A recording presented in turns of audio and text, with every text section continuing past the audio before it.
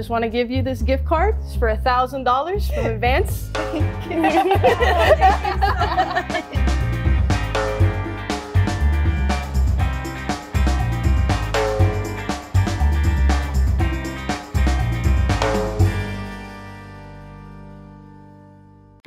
I'm Amber Allred. I'm 17. When my mom bought the Blazer for me for my 15th birthday, I went over to the shop and started working on it. Uh, I think the first thing I worked on was taking apart the engine that was originally in it and I didn't know anything about it. I was, I was scared to touch it. I mean, I didn't know what any of the parts were. I had no previous knowledge. My mom showed me a picture of the truck and goes, do you want to build this? And I was like, okay. uh, she turned 15 and I started thinking about uh, the fact that this was gonna happen. I'm gonna have to get her a vehicle to start driving and uh, I just, I wanted her to be proud of something. I didn't want to just give her a daily driver that she wouldn't learn to enjoy and respect and understand how much work it takes to have a vehicle. It was actually a truck that uh, my brother had given to his nephew and uh, he had grown out of it and it had blown up and needed a ton of work so it was just kind of rotting in the yard. So it was simply just, it's a pretty truck and it's exactly what I was looking for.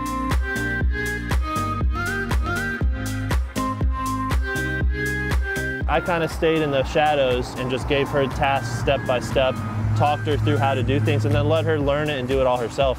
I was there for the difficult things that she really needed a hand with, um, but for the most part, I don't think there's a bolt on this that she hasn't touched herself.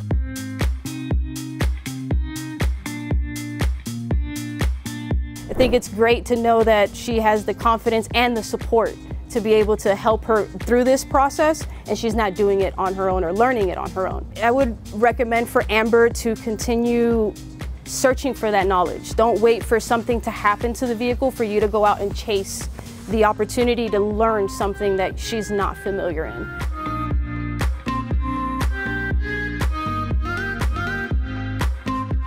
Advance would like to gift you the $1,000 in a gift card for you to be able to work on your blazer. Good luck. Thank you. We're very proud of Amber through this whole process. Uh, I think she's really grown as a person, um, you know, and she's learned some incredibly valuable skills that are going to translate to many aspects in her life moving forward. I can't begin to even figure out how to stop bragging about her. I'm just so proud of her and seeing the changes that she's made growing through this project. Uh, a lot of women tend to get taken advantage of when they take their cars to shops and stuff and just I feel like every person should have at least basic knowledge of their vehicle before they drive it so you can help troubleshoot small stuff and you don't have to pay for the shop prices and you just know your vehicle.